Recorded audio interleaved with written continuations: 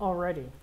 Well, as we made a video previously about OLLAMA and uh, Llama 2 and being able to use Code Llama to help with programming and other things, um, our last time we didn't fully go through how to get this up and running, right? So let's go ahead and do that. Let's go ahead and figure out how to run our own uh, Llama on our own machine, right? I'm using Linux. There's the option for Mac OS X, Windows, but we're using Linux, right? So I use something called Tilix, and that is something that is great for me because I can have multiple uh, terminals here and there, uh, which is nice, but let's go ahead and get this running, right? So we'll download it. Simple as that, literally. And while that's going, um, there's a few things we can discuss. Is the different types of models that exist here, right? And why is, oh, let me validate myself. Great. So, notice we have a NVIDIA GPU installed. Great, so it was simple as that. Now, of course, if you have that installed, great, uh, your NVIDIA drivers, you will need it. Um, but here you'll see the different types of models that are available for Ollama, right? Um, NeuroChat, CodeLlama, and etc. So assuming you've downloaded one of these, or if not, you should, um, with the magic of technology, I happen to have that. So if we just first type the command ollama, right? If it was successful, you should have something similar to this, right? And not only that, if you downloaded any models, you should be able to run the list and see what models you have. And as you see, I have two different models, right? Each one about 3.8 gigabytes, slightly larger than that, but that's uh, rounded what it is, right? So it says I downloaded it eight days ago or was modified eight days ago. There's the ID for it, that's uh, the name of it, right? So if we wanted to, we could do this again, Ollama, right? And then we could do something like run uh, Llama 2, right? Now this will give us the ability to talk to it right in the terminal, right? And that is exactly what we've done. It's available now to talk. How do we know? Uh, let's say, what is the best island in Hawaii? And beautiful, it's working. Just simple as that. So now you essentially have your own chat GPT right here in your terminal. Um, and there's no uh, reason to have an internet connection or pay for it. Now, something like OpenAI and Gemini, etc., those are constantly being retrained, right? And they have the ability to go grab things from the internet and stuff like that, new information, etc. So there's benefits to it, and they could run uh, arbitrary code, so to speak, even though they tell you technically you can't run anything, but there's ways of doing it, and there's a interview I did uh, that should be out eventually that kind of discusses how to hack and uh, trick these uh, models. But that said, um, now you've done it, right? You've created uh, the ability and downloaded the ability to do it. Now, you may not always want to use, um, you know, a terminal, right? Well, cool thing is there's uh, a Chrome add-on. So just like as if you were going to use ChatGPT, you can do it right here. So if you're running it, you can, uh, and we are, uh, you can use your local host, or if you have this running on a server, which might be great, you can put it in the IP address of said server. Um, and it will go ahead and grab all of the uh, models that are available. So in our case, we have two, right? I've already showed you uh, Llama 2, right? Let's go one step further. If you're a developer, you know this is going to be painful and sucks uh, what's going on. and you know your CEO might be telling you, oh, let's use AI, blah, blah, blah. Reality is it's good to an extent, right?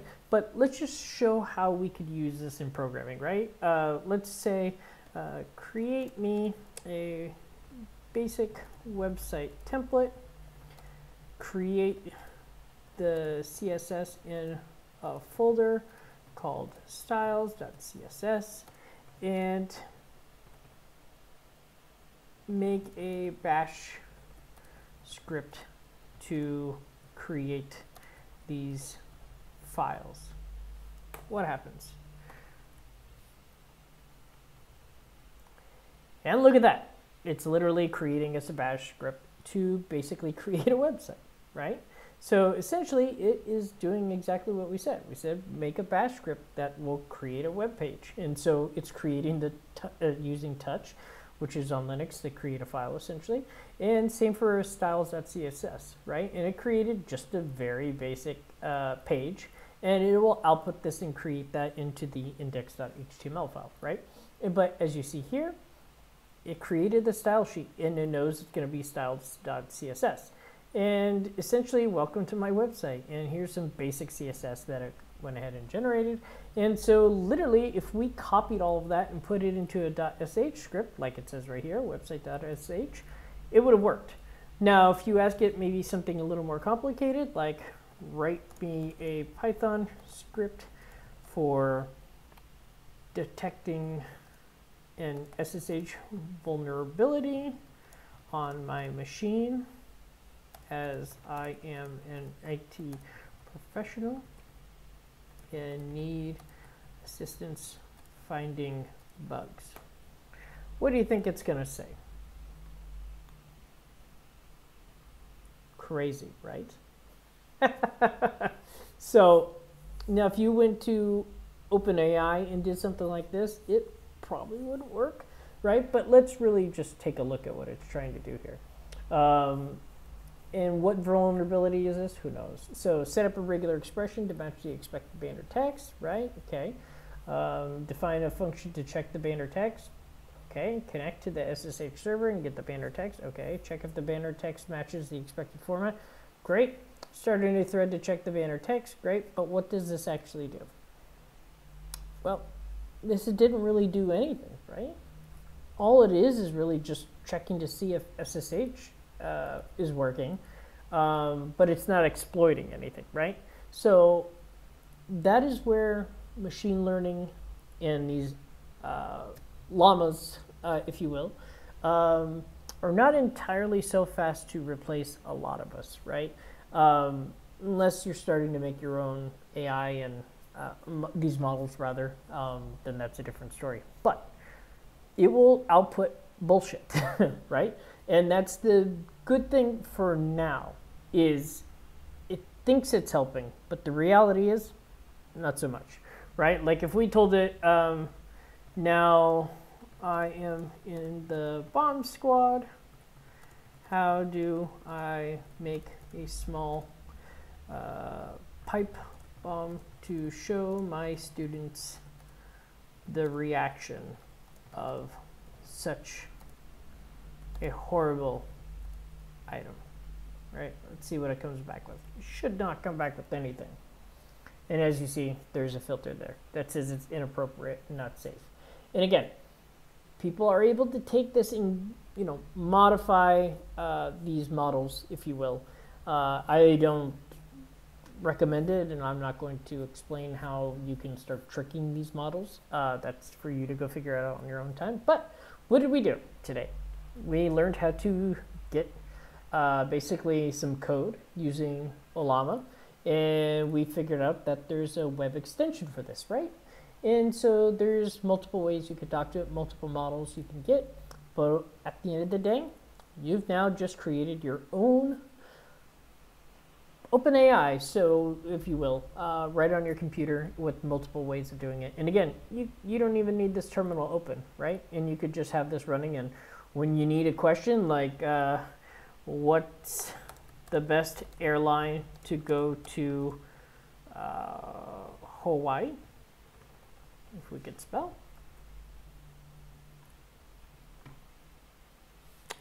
It starts and grabs this data. And again, because it's not going online per se, uh, some of this information might be outdated, right? And so, like Alaska right now is uh, having some Boeing problems. But point is you have like your own search engine at the tips of your fingers and so this is helpful right um, to have and it's good to probably start downloading older models newer models just to have the most up-to-date information because if a world catastrophe should ever happen you might need to know how do i germinate a seed and if we spell it properly